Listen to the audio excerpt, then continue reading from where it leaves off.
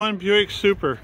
It's restored to the nines. It's an absolute gorgeous 51 Buick Super, especially if you like 51 Buicks.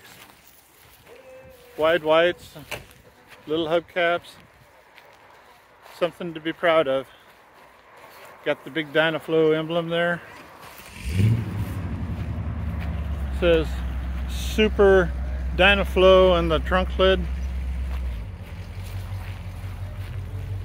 Too cool.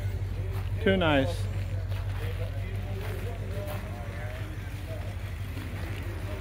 And here's the interior. They really know how to deck a mountain these days. Look at all the chrome on that dash.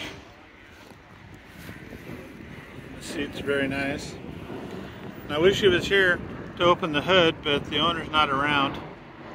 It um, hood will open from either side. It has pull cable on right and left, and it opens up sideways, and you can open it from either side. That was kind of an interesting thing that Buick did.